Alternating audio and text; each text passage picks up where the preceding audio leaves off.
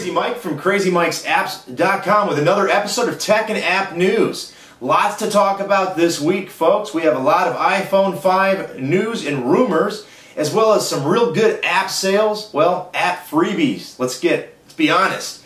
And then there's also some Angry Birds news. They're always in the news, apparently, these days. And we're going to talk a little bit about how Apple is cleaning up in the tech industry. Let's get into it.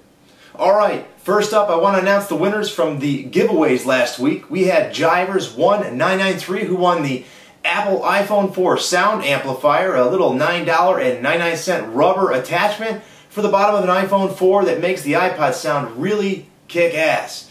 And Kyle7002, that's Kyle7002, won the SURC iPhone 4 remote control. That's the the uh, iPhone accessory that the iPhone 4 slipped into and has a corresponding iPhone app that's free that allows you to change channels. It's pretty cool. Take it to the bar and see what you can do with it. All right, those guys were the lucky winners. Your stuff has been mailed off by Mrs. Crazy Mike three days ago. Let me know when you receive it, please. All right, on to the app sales. We have some serious app sales and some serious freebie price drops. Let's get right into it. Yesterday, Gameloft dropped their price of uh, adrenaline, or I'm sorry, Asphalt 6 Adrenaline, HD, and Adrenaline to nothing. Goose Egg prominently took the top spots in the iPad and iPhone free apps. Number one today, number one yesterday. It's a great title. You should grab it while you can. It's a rather large title. It says 505 megabytes in the description, but uh, I've had people say it's bigger.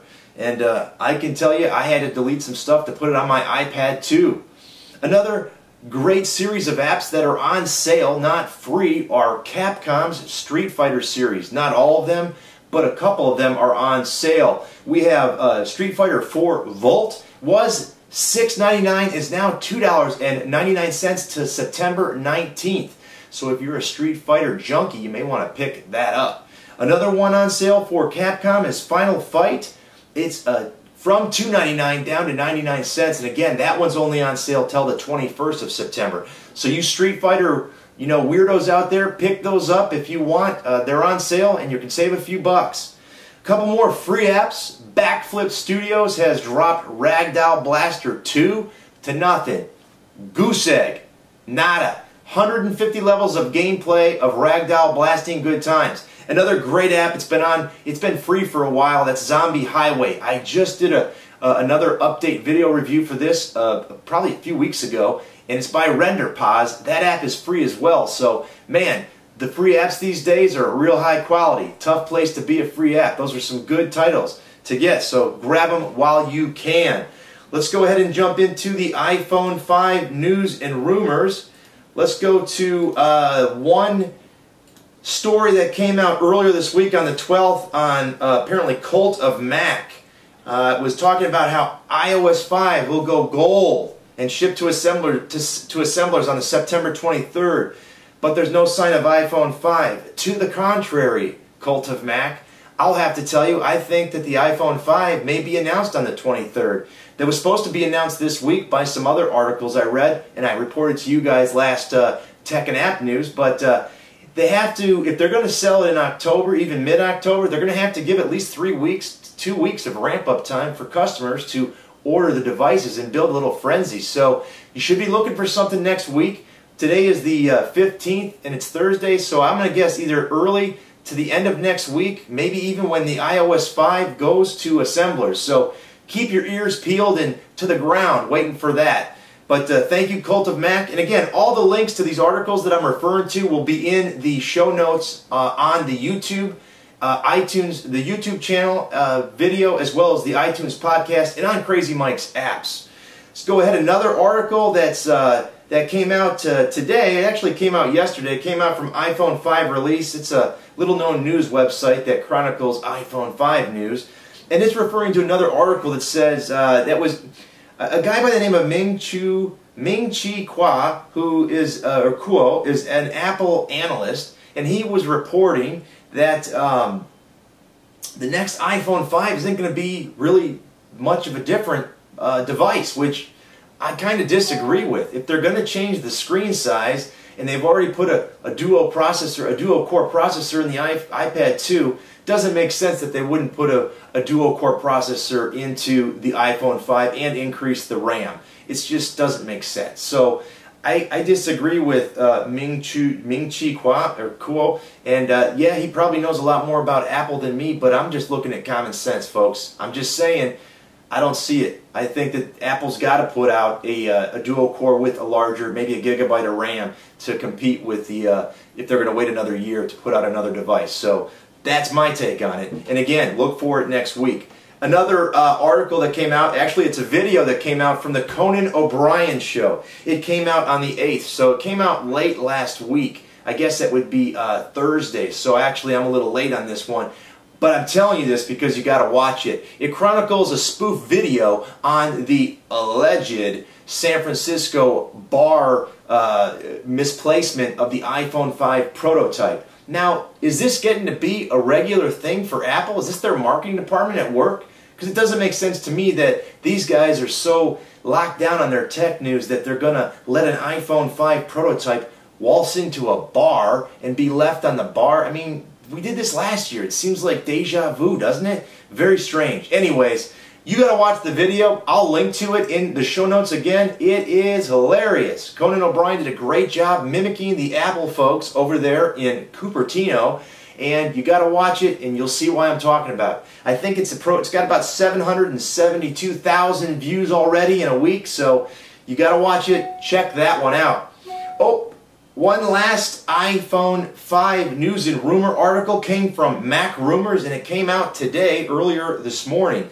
It was about a Case-Mate put some uh, photos of a new case for the iPhone 5 and it's actually larger which shows that there's going to be a bigger screen for the iPhone 5. This again is a no-brainer to me.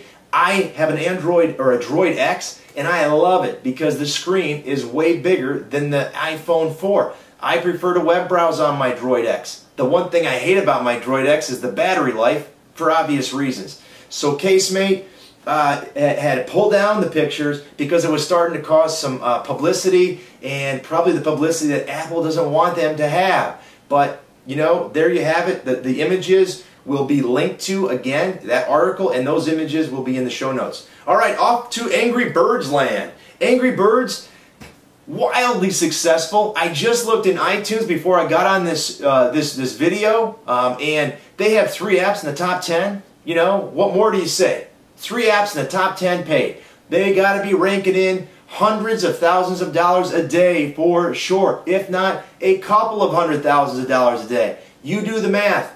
Top app gets a lot of downloads, gets a lot of money, and it depends on what the price point is. Anyhow, let's go into another area that they ventured into selling plush toys. Selling plush toys to the tune of about a million dollars each month, along with t shirts. Wow. Angry Birds and Rovio Mobile, congratulations, you guys are studs. So people, if you want to get a plush toy of an Angry Bird or a t-shirt, why not join the crowd that is? And uh, again, the link will be there. That, ad, that article came from the Business Insider and the Silicon Alley Insider. It's a very good article. Uh, another little thing that Angry Birds is doing, this also comes from the Business Insider, one of my favorite places to get tech news. Angry Birds costing businesses 1.5 billion in lost wages. You know what that means, right? It means all you people are sitting around work playing Angry Birds, not working, and it's costing your boss money. I don't think Rovio Mobile thought of that when they developed it, but you know what? Again, congrats Rovio Mobile for providing us people some freaking peace and quiet and a little bit of downtime. Thank you. So anyways, that's a lot of money by the way. 1.5 billion probably close to what Rovio Mobile's made over off of Angry Birds. Who knows? Maybe not. They probably made more. Well, that's an interesting article. Lastly, we'll just talk about the, uh, well, lastly, I'm going to do some selfish plugs, but we have a article that came from uh, Digital Trends, and uh, this article was regarding uh, how the Mac is uh, poised to break record record-breaking quarter sales. The Mac a lot of this is due to the Air and the uh, Mac Mini. So Mac is strong in the laptop sales, even though their laptops are more expensive than the competitors. But people want quality. I think also, obviously, the success of iPhone, the iPhone, and the iPad are driving sales. Matter of fact, today I didn't have this article in here, but Apple is actually one behind Google as brand in, in terms of brand recognition. What that means is they are right up there with the top, the top brands the top, the second top brand in recognition that people recognize and is valuable. So great job. Again, that's not hurting their sales. The iPhone 5 is scheduled to break record sales. So again, stay tuned next week. I am venturing to say you're going to hear something about the iPhone 5 next week. If I'm wrong, I'm wrong. But we will see next episode, Tech and App News number three. All right. To end this episode, I want to plug a couple of things that I'm doing for giveaways. One, my Facebook fan page is at a paltry 973 subscribers. And I give out, man, 10 to 30 promo codes a day, maybe a little bit less, maybe a little bit more. It just depends. I try not to spam too much, but I try to give away codes from the developers that want to get their apps recognized. And I get some pretty decent codes. So, what this all means, please subscribe to my Facebook fan page. And once I get to a thousand, which is only what? 27 more people, I'm going to give away $150 worth of iTunes gift cards. That's right. I haven't figured out how I'm going to give them away yet, but it's going to be using the Facebook fan page. Again, I need 1,000 Facebook fan page likes, and that's going to set into motion a giveaway for $150 worth of iTunes gift cards in $10 increments on my Facebook fan page, which I'll report to you on how I'll do that once we get that milestone. Again, Facebook fan page 1000 means uh, 15 $10 iTunes gift cards given away on that fan page. Lastly, YouTube.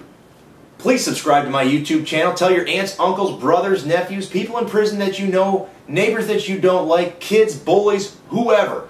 Tell them to subscribe. The mailman, the UPS guy, I don't care. Share my channel. Please share my videos. Thumb up my, and like my videos.